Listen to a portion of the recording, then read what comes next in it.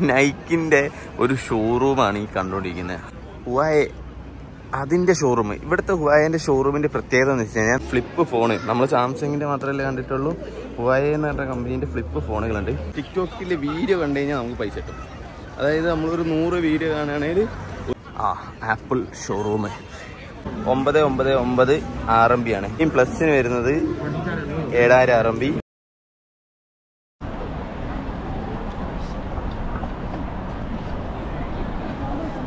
Welcome to China Beijing ഞാനിപ്പോൾ ഉള്ളത് ചൈനയുടെ ക്യാപിറ്റൽ സിറ്റിയായ ബീജിങ്ങിലാണ് കേട്ടോ ഒരു രാജ്യത്തിന്റെ ക്യാപിറ്റൽ സിറ്റിയിൽ നിന്നാണ് സംസാരിക്കുന്നത്. നമ്മുടെ രാജ്യത്ത് ഡൽഹിയിൽ നിന്ന് സംസാരിക്കുന്ന പോലെയാണ് ചൈനയിലെ ബീജിംഗ് സിറ്റി എന്നാണ് ഞാൻ സംസാരിച്ചുകൊണ്ടിരിക്കുന്നത്.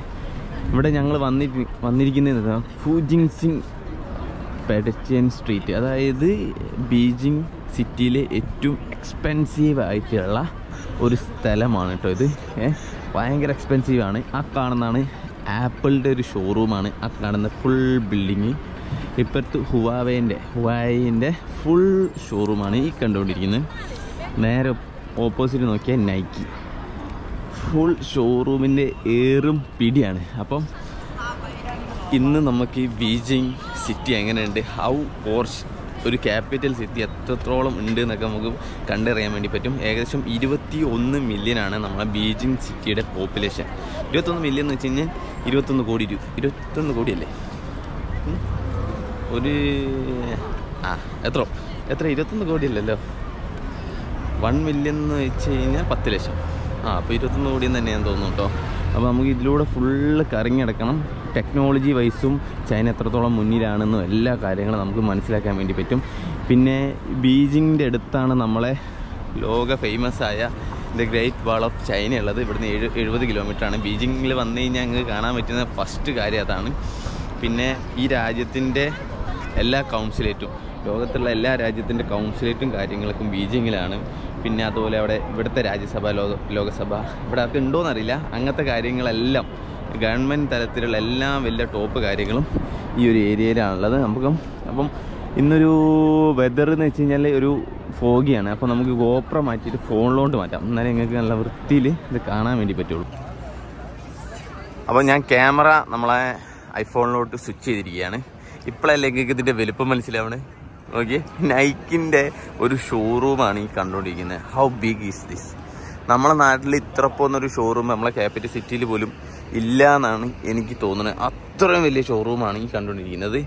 ഇതാണ് ഹുവായെ അതിന്റെ ഷോറൂം ഇവിടുത്തെ ഹുവായേന്റെ ഷോറൂമിന്റെ പ്രത്യേകത എന്ന് വെച്ച് കഴിഞ്ഞാൽ നമ്മളെ നാട്ടിൽ ഹുവായ എന്ന് കേട്ടാൽ എന്താ നിങ്ങൾക്ക് എന്താ അറിയാം?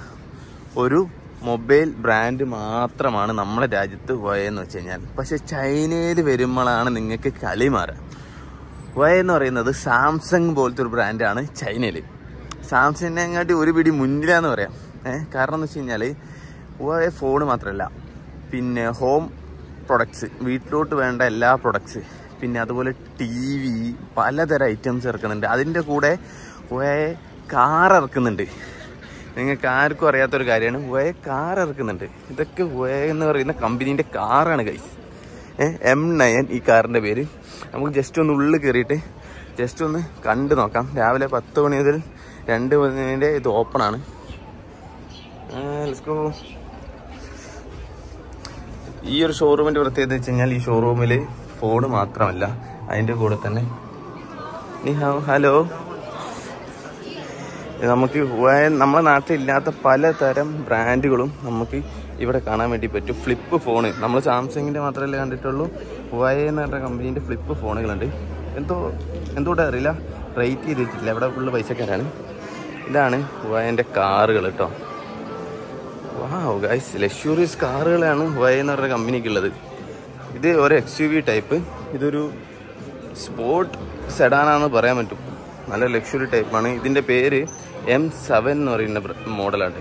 വയ എം സെവൻ ഇതാണ് ഇവരുടെ ലോഗോ ചൈനയിലെ ലോഗോ എം നയൻ ഇവിടെ ആൾക്കാർ ഇതൊക്കെ മേടിക്കാൻ വേണ്ടി നിൽപ്പാട്ടോ. പിന്നെ അതുപോലെ വയന്റെ ലാപ്ടോപ്പുകളാണ് ഈ കണ്ടുകൊണ്ടിരിക്കുന്നത്. ഒരുപാട് തരത്തിലുള്ള ലാപ്ടോപ്പുകളുണ്ട് നമ്മളെ നാട്ടിൽ ഹുവായന്റെ വലിയ വലിയ ബ്രാൻഡ് പിന്നെ മോഡലുകൾ ഇറങ്ങുന്നില്ല. ഇതൊരു മാളിന്റെ ഉള്ളിക്കോട്ട ഉള്ളോട്ടാട്ടോ ഇത് പോവാ. നമ്മളെ നാട്ടിൽ ഇവിടുത്തെ പ്രത്യേകത എന്ന് വെച്ച് കഴിഞ്ഞാൽ നമ്മളെ നാട്ടിൽ ഇതിന്റെയൊക്കെ ഒരു ഏറ്റവും ടോപ്പ് എൻഡ് മോഡൽ ഇറങ്ങൂല. അതിന്റെ തൊട്ട് താഴെയുള്ളതൊക്കെ ഇറങ്ങുള്ളൂ. ഇതൊക്കെ ഇതിന്റെ ഇതൊക്കെ നോക്കിയാൽ നമുക്ക് മനസ്സിലാവുണ്ടോ മൂന്ന് ക്യാമറ ഇങ്ങനെ വരുന്ന സാധനം നോക്കി. ഓ ക്രൈസി മാൻ അടിപൊളി. എനിക്ക് ഭയങ്കര ഇഷ്ടമായി നമ്മളെ നാട്ടിലില്ലാത്തപ്പോൾ ഷസാം ഇങ്ങനെ പറയുന്നേക്ക. ഹുവായന്റെ ഏറ്റവും ടോപ്പ് എൻഡ് മോഡൽ നമ്മൾ ചൈനയിൽ വന്നാലേ കാണാൻ വേണ്ടി പറ്റുള്ളൂ. എന്ന് അത് സത്യമാണ്. ഇവിടെ വന്നാലേ കാണുന്നത് എം ഫൈവ് എന്ന് പറഞ്ഞ ഒരു mini compact X U V X U V എന്ന് തന്നെ പറയാം. പക്ഷേ ലക്ഷൂറിയസ് ആണ് കേട്ടോ ഇതും ഒരു ലക്ഷറി എക്സ് യു വി എന്ന് പറയാം. കൊള്ളാം. പിന്നെ ഹോം പ്രൊഡക്ട്സ് ആ സൈഡിലുണ്ട് ഇതാണ് പറഞ്ഞാൽ ഒരു ഷോപ്പിൽ കയറി കഴിഞ്ഞാൽ നിങ്ങൾക്ക് എല്ലാ രീതിയിലുള്ള പ്രൊഡക്റ്റും ഒരു സ്ഥലത്തും തന്നെ ഇവിടുന്ന് കിട്ടും. അപ്പോൾ നമ്മൾ ഇനി ഇവിടുന്ന് പുറത്തിറങ്ങിയിട്ട് നമുക്ക് അടുത്ത സ്ഥലത്തോട്ട് പോകാം. താങ്ക് യു ശിശേ. ആ കമോ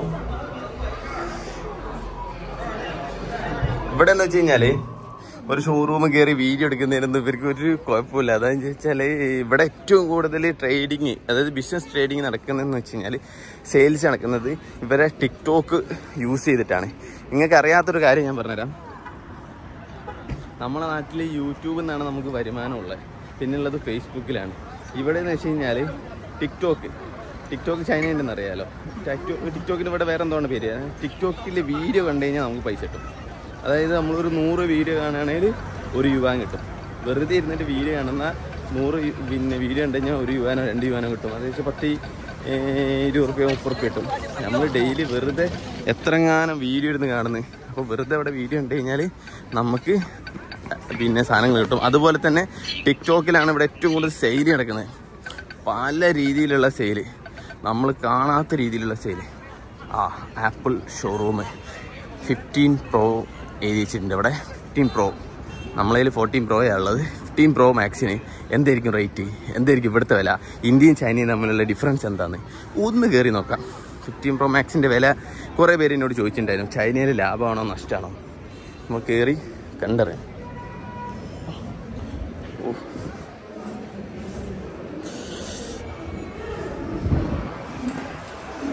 ഫിഫ്റ്റീൻ പ്രോ മാക്സ് ആ.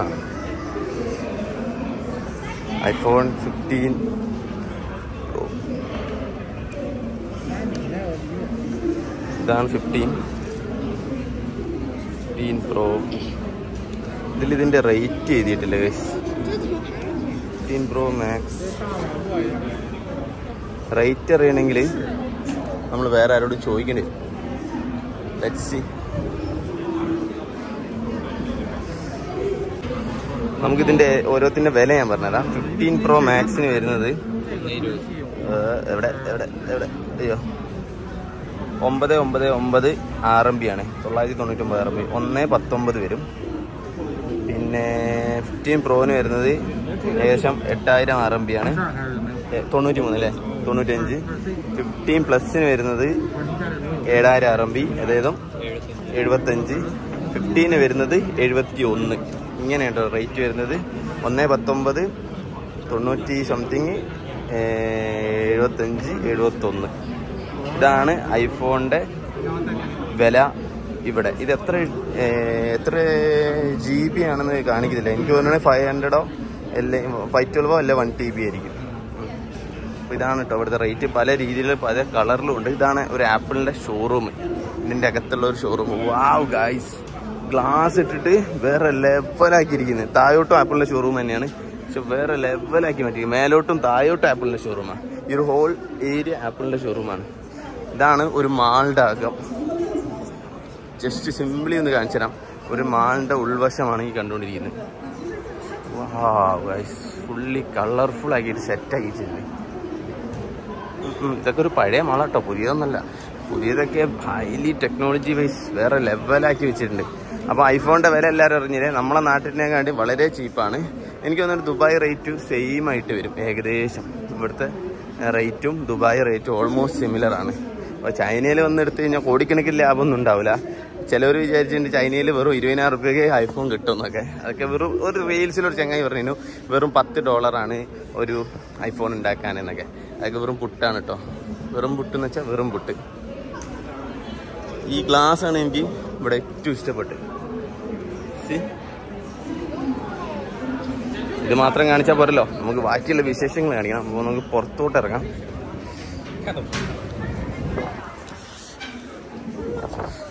ഓ പുറത്ത് നല്ല തണുപ്പാണ്. നല്ല ആൾക്കാരുണ്ട്. എനിക്ക് നൈക്കിന്റെ ഷോറൂം കണ്ടിട്ട് ഗൈസ് ഒരു രക്ഷയില്ല. വേറെ ലെവൽ ഷോറൂം നൈക്കിന്റെ ഉവായന്റെ. ഇനി പല കമ്പനീന്റെതും അങ്ങോട്ടേക്ക് ഉണ്ടാവും. ഇനി സാംസങ് ഒബ്വിയസ്ലി അവിടെ ഉണ്ടാവും. വിവോ ഉണ്ടാവും. അപ്പം ഓരോ കമ്പനീന്റെ ഷോറൂമും പോകുന്നതിനനുസരിച്ച് നമുക്ക് കാണാൻ വേണ്ടി പറ്റും.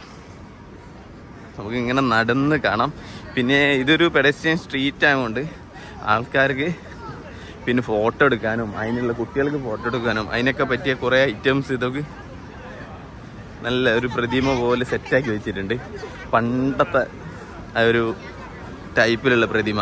അതായത് ചൈനീസ് ആൾക്കാരെ ട്രഡീഷണൽ ഡ്രസ്സൊക്കെ ഇട്ടിട്ടാണ് ഇവിടെ ഉള്ളത് നമുക്ക് ഭാര്യ ഭർത്താവിനെ ഭാര്യയ്ക്ക് ഭർത്താവ് മുടി ജീവിക്ക് കൊടുക്കുന്നതാണ് ഈ കണ്ടുകൊണ്ടിരിക്കുന്നത്. പിന്നെ വേറൊരു പ്രശ്നമുണ്ട്.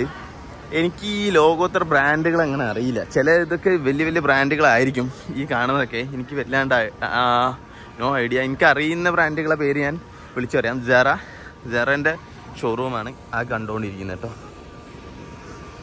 ഇവിടെ വൃത്തിയാക്കി നോക്കിയേ. നല്ല വൃത്തിയിലാട്ടോ. എല്ലാം എനിക്ക് ഭയങ്കര ഇഷ്ടപ്പെട്ടു.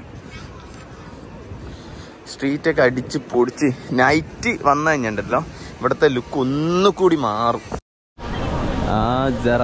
പിന്നെ വേറൊരു കാര്യം എന്ന് വെച്ച് കഴിഞ്ഞാൽ നമ്മൾ ഈ ചൈനയെ കണ്ട് പഠിക്കണം. വേറൊരു കാര്യം എന്ന് വെച്ച് കഴിഞ്ഞാൽ ആയിരത്തി തൊള്ളായിരത്തി തൊണ്ണൂറിൽ ചൈനേന്റെ പട്ടിണി റേറ്റ് അറുപത്തി ആറ് ശതമാനം ചൈന ചൈനയുടെ പോപ്പുലേഷൻ അറുപത്തി ആറ് ശതമാനം ആൾക്കാർ പട്ടിണിക്ക് താഴെ അതായത് പോവർട്ടി ലൈനിന്റെ താഴെയായിരുന്നു. ഇന്നത് രണ്ടായിരത്തി ഇരുപത്തി നാലായപ്പം രണ്ടായിരത്തി പതിനെട്ടിലെ ലാസ്റ്റ് കണക്ക് വന്നത് സീറോ പോയിന്റ് മൂന്ന് ശതമാനമാണ്. അറുപത്തിയാറ് ശതമാനം നിന്ന് സീറോ പോയിന്റ് മൂന്ന് ശതമാനം. നമ്മളെ ഇന്ത്യേന്റെ ഇപ്പോഴത്തെ കറണ്ട് റേറ്റ് എനിക്ക് അറിയില്ല. നിങ്ങളൊന്ന് ചെക്ക് ചെയ്ത് നോക്കുക. വെറും ഇരുപത് വർഷം കൊണ്ട് അവർ മാറിയ മാറലൊന്ന് ചൈനനെ ഒന്ന് നമ്മളൊന്ന് കമ്പയർ ചെയ്യട്ടോ. അതുപോലെ തന്നെ ജി ഡി പി ആയിരത്തി തൊള്ളായിരത്തി തൊണ്ണൂറിൽ ജി ഡി പി റേറ്റിൽ ഇന്ത്യനും ചൈനയേക്കാൾ മുന്നിൽ. ഇന്ന് ഇന്ത്യയേക്കാൾ അഞ്ച് ശതമാനം കൂടുതലാണ് ചൈനേന്റെ ജി ഡി പി ആയിരത്തി തൊള്ളായിരത്തി തൊണ്ണൂറിൽ ജി ഡി പി ഇന്ത്യയേക്കാൾ കുറവുള്ള രാജ്യം. ഇന്ന് ഇന്ത്യയേക്കാൾ അഞ്ചിരട്ടി മുന്നിലാണ് ജി ഡി പിയിൽ പിന്നെ കുറേ കാര്യങ്ങൾ. ലോകത്ത് രണ്ടാമത്തെ ഏറ്റവും വലിയ ശക്തിയാണ് ഇപ്പോൾ ചൈന. ഒന്നാമതോട്ട് എത്താൻ കുറച്ച് ടൈം കൂടി മതി. കാരണം എന്ന് വെച്ച് കഴിഞ്ഞാൽ കുറച്ച് കാലം കൊണ്ട് അത് എത്തും. പിന്നെ യു എസ് എനെ പൊട്ടിച്ച് ചൈന എന്തായാലും ഫസ്റ്റിലോട്ട് എത്തുട്ടോ. ഉറപ്പുള്ള കാര്യമാണ്. ഒന്നും നോക്കേണ്ടി വരില്ല.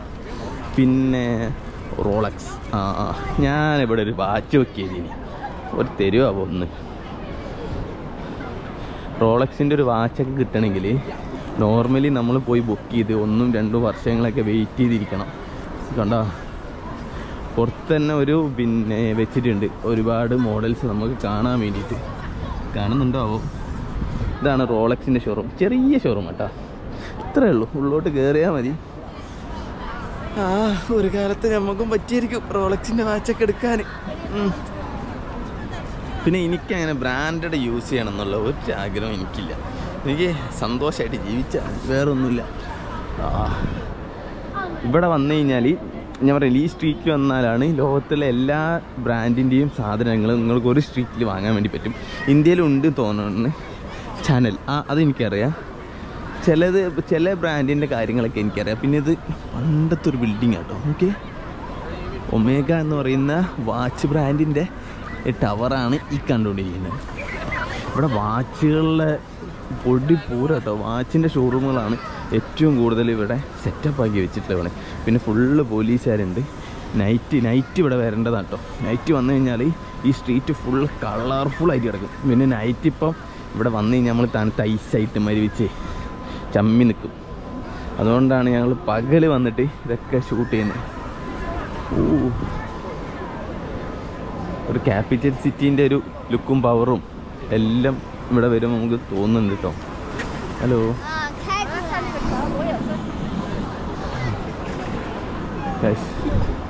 പിന്നെ വേറൊരു കാര്യങ്ങളോട് പറയട്ടെ. നമ്മളെ ഇന്ത്യയിൽ എന്നാ മെട്രോ വന്നതെന്ന് എനിക്കറിയില്ല. എന്തായാലും കേരളത്തിൽ വന്നത് രണ്ടായിരത്തി പത്തിന് ശേഷമല്ലേ ഏഹ് എപ്പോഴുമാണ് വന്നത്? ബീജിങ്ങിൽ ആയിരത്തി തൊള്ളായിരത്തി എഴുപത്തി ഒന്നിൽ ആയിരത്തി തൊള്ളായിരത്തി എഴുപത്തി ഒന്നിൽ മെട്രോ ഉണ്ട്. ഇവിടെ. ഇപ്പം ഞാനന്ന് ജനിച്ചിട്ടും കൂടിയില്ല. പിന്നെ ഏതോ കാലത്ത് ഇവിടെ മെട്രോ കാര്യങ്ങളൊക്കെ ഉണ്ട്. എത്ര വർഷങ്ങളായി നമ്മളെ കേരളത്തിൽ ഒറ്റ ലൈൻ മെട്രോ ഉള്ള ഒറ്റ ലൈൻ. ഇവിടെ ഇരുപത്തഞ്ച് ലൈനോ മുപ്പത് ലൈനും ഉണ്ട് ജപ്പാനാണ് മെട്രോന്റെ കാര്യത്തിൽ ഏറ്റവും ടോപ്പ് ചൈന വേണമെങ്കിൽ സെക്കൻഡ് പിടിക്കും. അത് റഷ്യ അതുപോലെ തന്നെ മെട്രോന്റെ കാര്യത്തിൽ വേറെ ലെവലാണ് ഇവിടെ എന്ന് വെച്ച് കഴിഞ്ഞാൽ യാത്ര ചെയ്യാൻ ഭയങ്കര എക്സ്പെൻസീവാണ് നമ്മൾ ഒരു സ്ഥലത്തു നിന്ന് ഒരു സ്ഥലത്തോട്ട്. ഇവിടെ ഏറ്റവും ചീപ്പ് എന്ന് വെച്ചാൽ മെട്രോ ആണ്. മൂന്ന് ചെയ്യാൻ അതായത് മുപ്പത് റുപ്യ നാൽപ്പത് റുപ്യ. കൊടുത്തു കഴിഞ്ഞാൽ നമുക്ക് ഒരു സ്ഥലത്ത് നിന്ന് ഒരു സ്ഥലത്തോട്ട് ഇങ്ങനെ മാറി മാറി കയറാൻ വേണ്ടി പറ്റും. ഇനി ഞങ്ങൾ ഇങ്ങോട്ട് വന്നത് മെട്രോയിലാട്ടോ ഇതാണ് ഒമേഗ ബ്രാൻഡ്. ഇതൊക്കെ ന്യൂ ഇയറിന്റെ ഭാഗമായിട്ട് ഇവിടെ കുറേ സ്റ്റാളുകളും കാര്യങ്ങളൊക്കെ ഇട്ടിട്ടുണ്ട് കേട്ടോ ഈ സ്ട്രീറ്റിൽ ഇങ്ങനെ നടന്ന് ഈ സ്ട്രീറ്റിൽ നിന്ന് ഉള്ളോട്ടൊക്കെ നടന്നു കഴിഞ്ഞാൽ പലതും കാണാനുണ്ട് എന്നാണ് കേട്ടിട്ടുള്ളത്. പൊള്ളി. വേറെ ലെവൽ വൈബ് സ്ഥലം. എനിക്ക് ഞാൻ അവിടെ ഒരു രണ്ട് സ്ട്രക്ചർ കണ്ട് ബിൽഡിങ്ങിന്റെ എനിക്ക് ഭയങ്കര ഇഷ്ടമായി. ഒന്ന് നടന്ന് ഇങ്ങ് കാണിച്ചു തരാം. ഇങ്ങോട്ട് വാഹനങ്ങളൊന്നും കയറ്റാതെ ഫുള്ള് ബ്ലോക്ക് ചെയ്ത് വെച്ചിരിക്കുക കേട്ടോ. വേണ്ടവർക്ക് പിന്നീട് വരും. പിന്നെ പിന്നെ ബീജിങ്ങിൽ വേറൊരു സാധനമുണ്ട്. റോബിൻ സിറ്റി ഉണ്ട്. അതായത് ആ സിറ്റിയിലോട്ട് ഇവിടെ ആരും താമസമില്ല അബാൻഡഡ് ആയി പോയിട്ട് ഒരു സിറ്റി ഉണ്ട് ബീജിങ്ങിൽ ആ ഇതുണ്ടല്ലേ ഇവിടുത്തെ ട്രഡീഷണൽ പണ്ടത്തെ ട്രഡീഷണൽ കടകളൊക്കെ എങ്ങനെയായിരുന്നു? വീടുകൾ എങ്ങനെയായിരുന്നു? അതിന്റെ ഭാഗമായിട്ട് വെച്ചിരിക്കുന്ന ഒരു ബിൽഡിംഗ് ആണ് കേട്ടോ കറക്റ്റ് ട്രഡീഷണൽ സ്റ്റൈലാണ് ഇവരത് കീപ്പ് ചെയ്തിട്ടുള്ളത്. ഫുള്ള് ഫുള്ള് ചൈനീസിലാണ് എഴുതി വെച്ചിട്ടുള്ള എല്ലാ കാര്യങ്ങളും. കുട്ടികളെ പറ്റിക്കാനുള്ള കുറേ ടോയ്സും വാ ഇതൊരു റെസ്റ്റോറന്റ് ആണ്. റെസ്റ്റോറന്റിന്റെ മുൻവശം എനിക്ക് കണ്ടുവന്നിരുന്നത് കിട്ടിയില്ല. ചൈനീസ് സ്റ്റൈലിൽ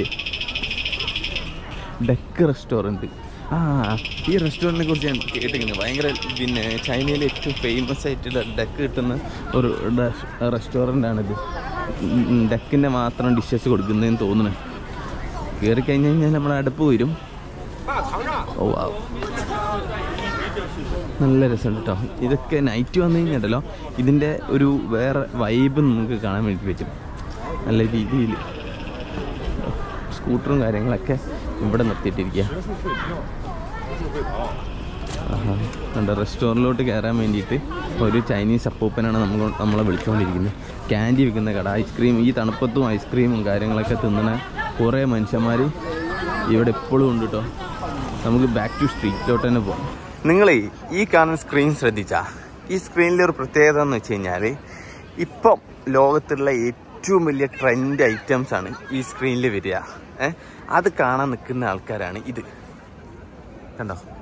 ഇത്രയും ജനങ്ങൾ എപ്പോഴും ഇതിന്റെ മുന്നിൽ നിൽക്കും. വേറൊരു കാര്യം കൂടി ഉണ്ട്. ഇതിൽ പെട്ടെന്ന് പെട്ടെന്ന് ഓഫേഴ്സ് കൊടുക്കും ഇവർ ഈ ഓഫേഴ്സ് ഒരു മിനിറ്റിന് രണ്ട് മിനിറ്റിനൊക്കെ ആയിരിക്കും ഈ ഓഫർ ഉണ്ടാവുക. അല്ലെങ്കിൽ പത്ത് മിനിറ്റിനൊക്കെ അപ്പം ഇതിവിടെ ഇങ്ങനെ നോക്കി നിന്ന് കഴിഞ്ഞാൽ ഇവർക്കുള്ള ഗുണമെന്ന് വെച്ച് കഴിഞ്ഞാൽ ഈ ഓഫർ അവിടെ കൊടുത്ത് ഏത് ഷോറൂമിലാണെന്ന് കാണിക്കും. ഇപ്പോൾ ആപ്പിളിന്റെ ഫിഫ്റ്റീൻ പ്രോന് പെട്ടെന്ന് പതിനായിരം രൂപ കൊടുക്കാന്ന് പറഞ്ഞാൽ ഇവിടെ ഒരു ഓഫർ കൊടുത്തു കഴിഞ്ഞാൽ പത്ത് മിനിറ്റ് കൊണ്ട് ഓടി അവിടെ എത്തിക്കഴിഞ്ഞ് കഴിഞ്ഞാൽ ആ ഫോൺ കിട്ടും. അപ്പോൾ ഈ സ്ക്രീൻ ശ്രദ്ധിച്ചിരുന്നു കഴിഞ്ഞാൽ നല്ല ഗുണമാണ്. അതുപോലെ ഈ സ്ക്രീൻ ത്രീ ഡി കൂടിയാണ്. അതാണ് ഇത്രയും ജനങ്ങൾ ഇതിങ്ങനെ നോക്കി നിൽക്കുന്നത് ഇവിടുത്തെ ഒരു ന്യൂയോർക്ക് സ്ക്വയറിലുള്ള സ്ക്രീൻ മാതിരി ഭയങ്കര സ്പെഷ്യൽ ആയിട്ടുള്ള സ്ക്വയർ പിന്നെ സ്ക്രീനാണ് ഇത്. ഈ സ്ട്രീറ്റും കാര്യങ്ങളൊക്കെ കണ്ടു ഇഷ്ടപ്പെട്ടു എന്ന് വിചാരിക്കുന്നു.